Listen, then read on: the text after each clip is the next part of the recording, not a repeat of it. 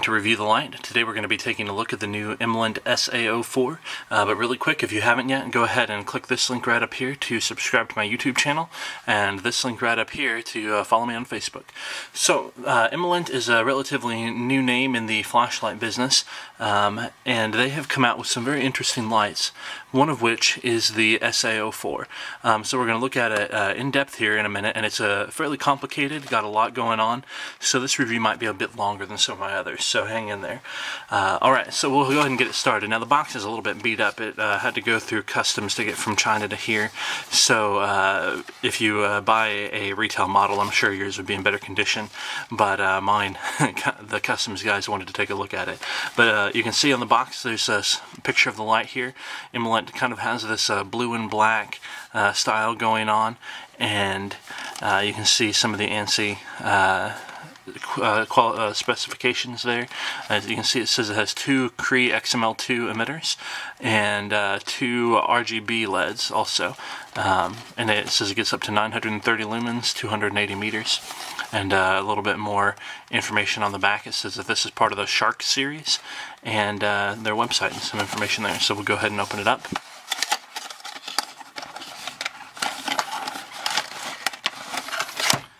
And uh, yep, got everything out of there.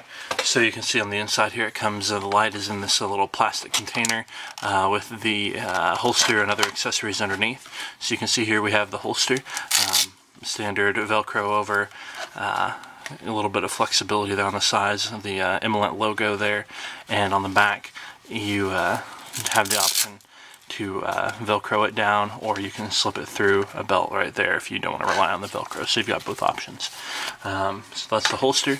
Uh, the other accessories it comes with are a couple of spare o-rings and it looks like this is a spare cover for the screen. I'm not sure if maybe uh, your screen gets scratched up or something like that you can put that new cover on um, but that's in there. And the warranty card and the instruction booklet and you want to make sure to hang on to the instruction booklet if you get one of these because it is a fairly complicated line. It's got a like I said a, pretty complex user interface and I'm going to keep this out during the review to make sure that I don't miss anything.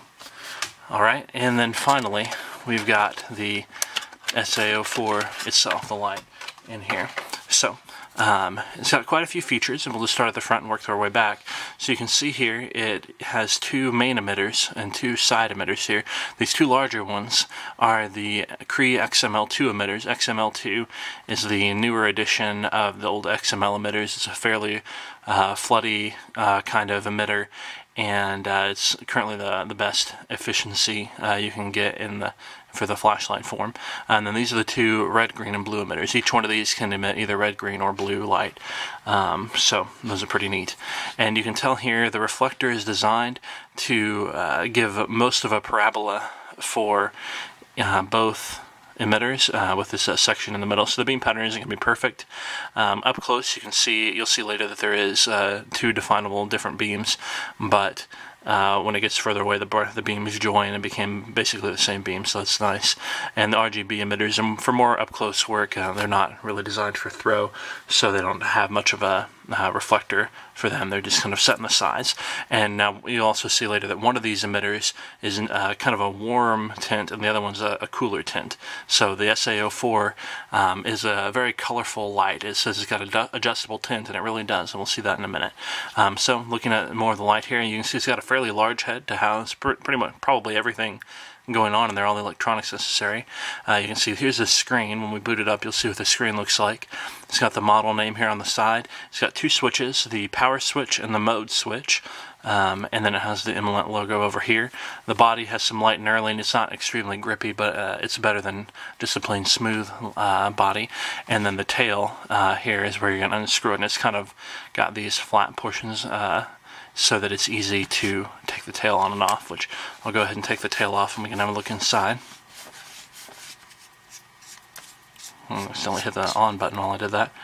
Um, okay, so here you can see the tail. Uh, inside of here, there's this cap that kind of rotates freely. Uh, when you push it down, it rotates a little better. When it's not, there's it's a kind of kind of a the cap itself is spring loaded um, a little bit, but you can see that rotates so that these contact points match up with the battery when you put the battery on. Um, or I'm sorry, match up with the battery tube when you put it on. And you can see there's these two posts here. Those line up with these two small holes in the body. Um, so when you're putting it on, you just line that post up, line both those posts up, and then you can take it on and off. Um, it uses four AA batteries. There's those. And you can see if I can get some light down in there. There we go. There's uh, two springs and two uh, flat portions, just kind of the opposite of the tail. And I'll put that back in. And I don't see any markings indicating the battery direction, but it just follows, it, it tells you in the instruction manual, and it just follows the convention of having the spring portions make contact with the negative battery terminals, the flat uh, part of the battery. So we'll load it back up and we'll turn it on. So when the light is off, okay, so we're going to go ahead and turn it on. You just press the power button one time, that's this button here. You can see it's kind of got the power symbol on it. The other one has an M for the mode uh, button. But you press the power button one time and it turns on and it defaults to maximum output for both emitters. Now I apologize, it looks pretty cool here on my camera, both of them do, due to um, just my camera's white balance. I will... Uh, see if I can adjust that in post-processing, but maybe not. Uh, but anyway, um, you can see both emitters are at max power right now, and if my camera, I'm not going to adjust to that, but both of them are on. Now, when you first turn the light on, this, if we'll focus, there we go, that's pretty good. Um, this comes on here. This is the display to, to let you know what's going on with the light. So you can see in the middle of it, is a battery picture. Uh, that shows you the battery level. Right now my batteries are fully charged. Um, this goes off after 30 seconds. So you can turn it off if you want, pressing the mode button here in the back. You can turn it off and on, or after 30 seconds it'll turn itself off. So uh, the battery indicator there shows you your battery level and it'll also start to blink when you have about 15 minutes of battery power left. And also these bars indicate the brightness. So if I want to turn the brightness down, I'm just going to put my finger on here and swipe it down, kind of like a, with a touch screen. And you can see the those bars are going downward and the brightness is going down until we get to minimum brightness here. Now, these bars don't directly correspond with a certain level, so there's actually quite a few more levels than there are bars. I'm not, I haven't counted the bars to see how many there are total, but if uh, you may be able to tell here, I'm kind of moving my finger and the brightness is changing, but the bar level isn't. So there's more than one brightness level within each bar. So that's something to take note of. But yeah, so you can see here, as I swipe my finger up and down, the brightness goes up and down with it, or I can tap at a certain point. It takes a little practice getting used to it because my thumbs are a little bit bigger than average, but I can tap at a certain point and it'll jump right to that point. Also, so you've got minimum brightness, which is very dim. You can see here. Um, and you can also tell in here the difference between the the warm and the cool emitter. Now both these look pretty cool on my camera, but you can check out the beam shots uh, in the full review, by the way. If you click the link below, you can see the full review. Check out those beam shots, and uh, you can see the true tint of each emitter. Um, but the cool and the warm are both on right now, and right now I've got them both on minimum output and if I crank them both up they can be a maximum but so you can keep it wherever you like in between.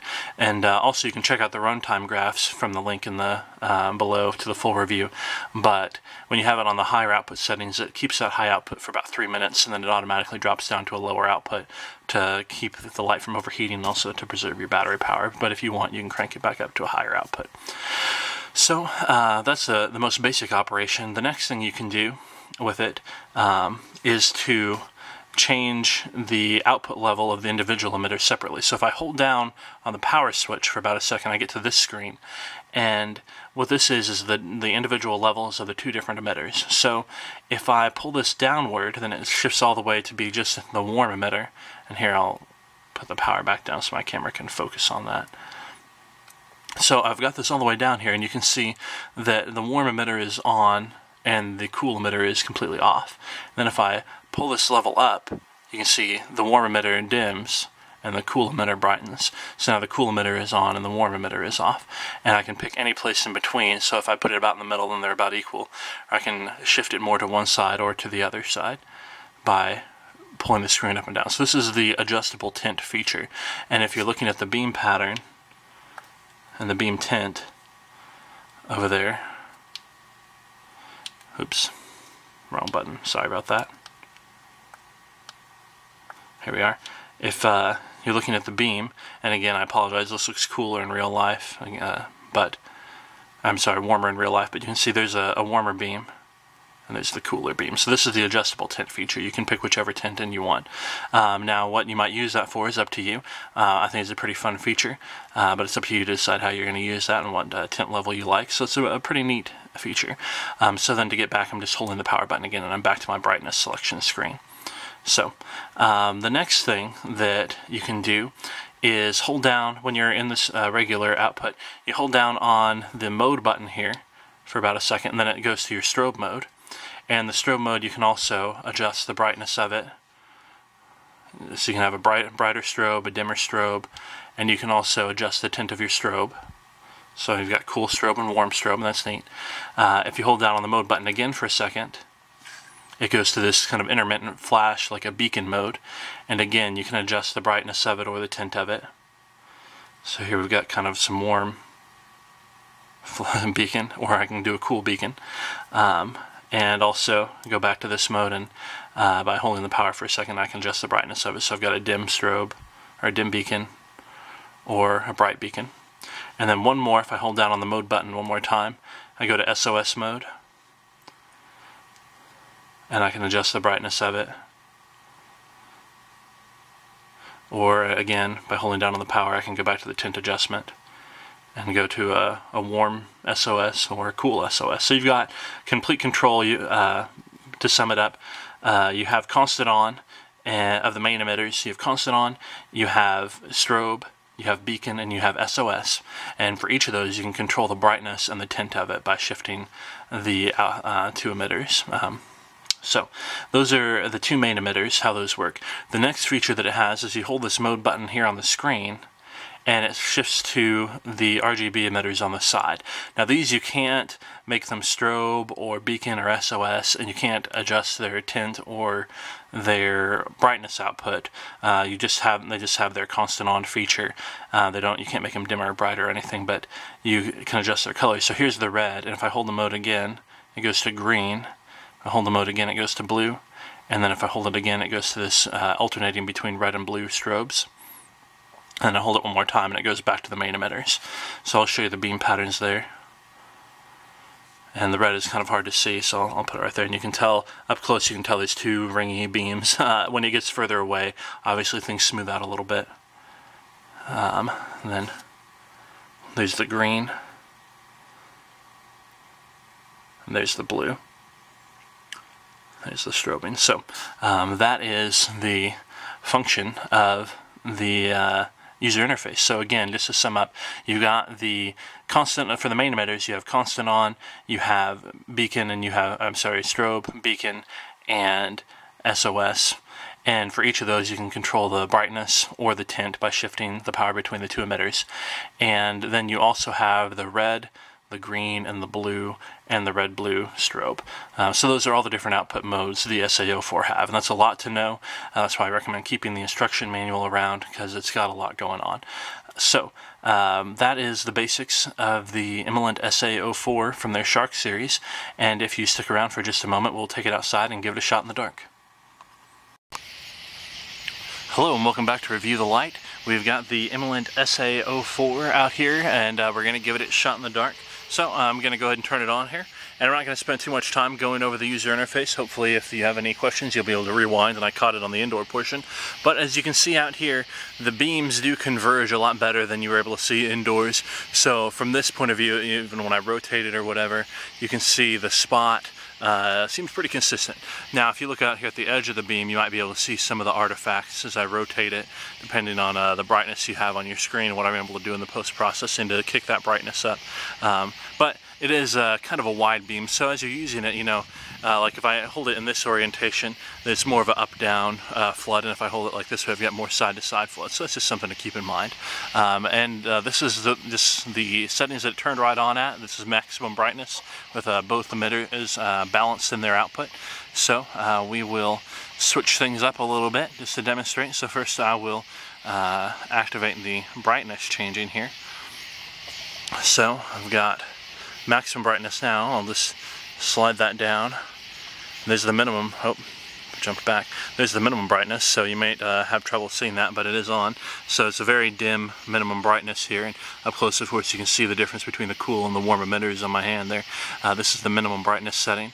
And then quickly, uh, very bright at the maximum. So I'll give you a, a look here now. Indoors, the bright, the white balance was a little bit off, but out here you can tell, if I get a good focus, the difference between obviously the cooler emitter here on the left and the warmer on the right uh, a very noticeable difference to your eyes. And this is pretty true to what I'm seeing uh, with my eyes as well.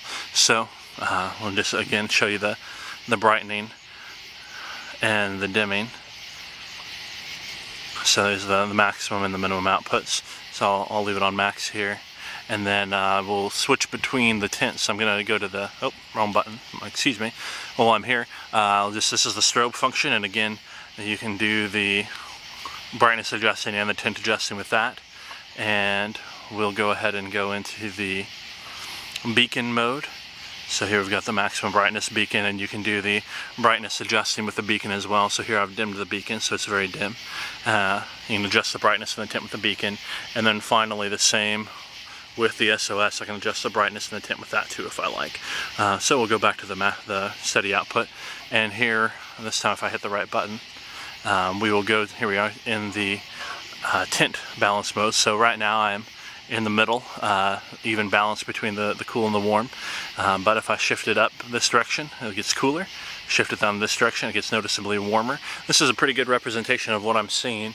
Um, so that's nice. You can see it's a very nice warm beam and up here a very cool beam. So whatever your preference is for whatever your task, you can pick anywhere in between either of those two settings. You can adjust the tint so it's very nice very nice. And uh, at these longer distance because the beams are converged you're not seeing that much of a uh, shift in the beam pattern as you shift the tint so that's pretty nice.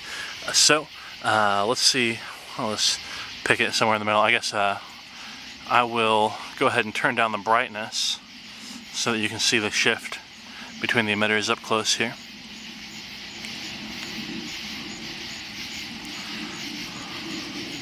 There I am shifting between the cool and the warm up close. And obviously there's quite a few steps in between so it just looks like a stepless dimming which is a very smooth controlled. So uh, we will next move into the color emitters. Alright, and I missed showing you the red, it's too fast. Um, so here's the red, you can see it on my hand up close. Um, now it's uh, kind of got some interesting color uh, due to the white balance on my camera, but it's just a solid red to my eyes.